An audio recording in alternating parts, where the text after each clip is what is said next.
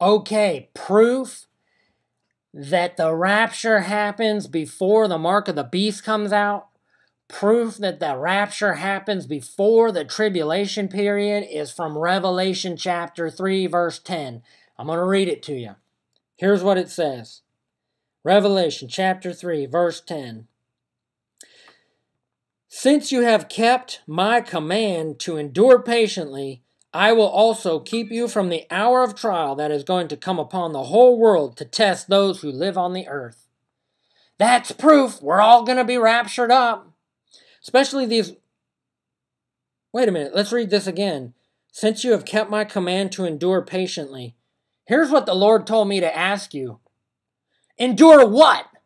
You North American Christians? It says you have endured patiently. To American Christians, Endured what? You haven't endured nothing. Now, if this was written to, to the, the North Korean Christians, if this was written to the Christians in China or Russia during the time of persecution, when during during the uh, Cold War, when they were putting Christians to death, I'd say yeah, but North American Christians to stand here and try to choose this scripture to say, well, I've endured patiently. I'm going to go up in the rapture before anything happens. This is proof right here. The Lord told me to ask you, what have you endured as a North American Christian? Well, I had, when I bought that, I had to pay, I had to pay 50 months on my car. That's patient endurance. I bought a brand new Mercedes Benz at a $1,200 a month payment for 60 months. That is patient. I endured patiently. What have you endured? I was at the Walmart checkout line and the girl in front of me decided to pay with a check. It took forever. I'm enduring patiently. Shut up! Let me tell you what's going to happen. The mark of the beast is going to come out, and the Bible says that those who are lukewarm, disobedient, will quickly fall away and take the mark of the beast. And so long as we're quoting which, uh, well, there's seven churches to choose from. And everybody in North America wants to choose Philadelphia and say, well, since you've kept my command to endure patiently, I will also keep you from the hour of trial that is going to come upon the whole world. Why didn't you choose Laodicea? Because I think this applies more to the North American church. You who are lukewarm, I'm going to vomit you up. Why didn't you choose Sardis? What the Bible says, wake up, verse 2. Revelation chapter 3, verse 2. Wake up! Why don't you believe God for Thyatira? Nevertheless, I have this against you. You tolerate that woman Jezebel. Why didn't you choose Smyrna? I believe we're all going to be raptured up because I believe, after all, Revelation chapter 2, verse 18, 20 says, Nevertheless, I have this against you. You tolerate that woman Jezebel. Why don't we aren't we why aren't we all quoting that verse? As why we're not going to have to go through the tribulation or experience any hardships or trials. We're just going to all be rap- raptured up. What about Smyrna? Look at what it says to the to Smyrna. Do not be afraid of what you're about to suffer. I tell you, the devil will put some of you in prison to test you, and you will suffer persecution for 10 days. Be faithful even to the point of death, and I will give you the crown of life. How come we never quote that scripture? Out of all the seven churches that God is saying, we all we go through the whole we read through the whole thing looking for what we want. Okay, no, not Smyrna. I don't like that one.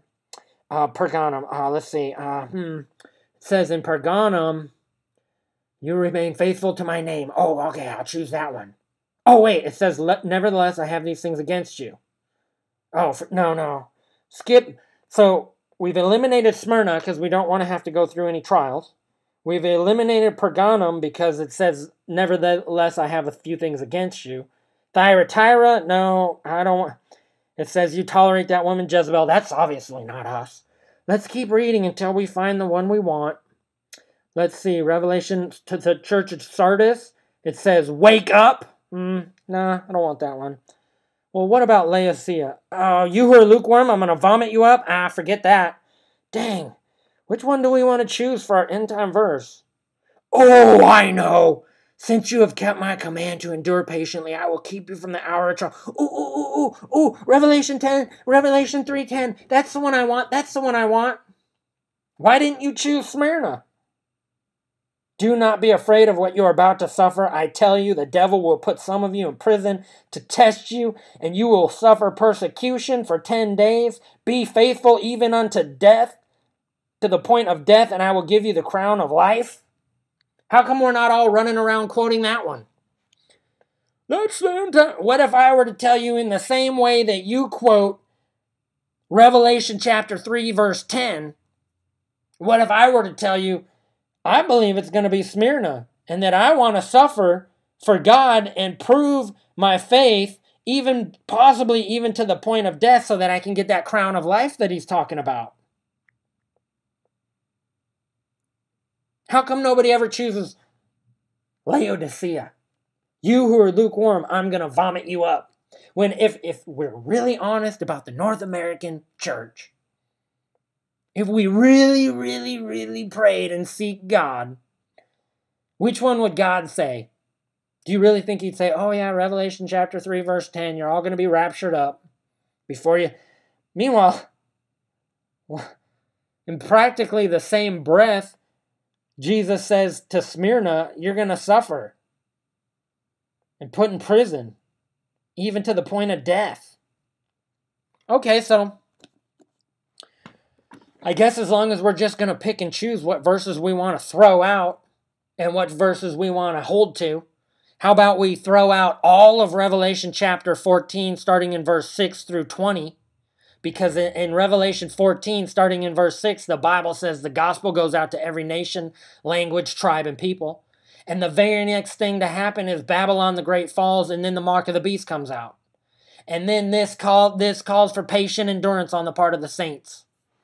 And then the Bible says in Revelation 14, uh, 13, blessed are those who die in the Lord from henceforth. And then after that, the rapture or the harvest of the earth. So basically, Babylon the Great falls. Before the rapture, Babylon the Great falls. The mark of the beast comes out. And God will say, Blessed are those who die in the Lord from henceforth. And then that goes back to Revelation chapter 6, verse 11, where God says, Wait a little bit longer until the number of fellow saints to be put to death for their faith is complete. So God says, Blessed are those who die in the Lord from henceforth. And then after that, the rapture.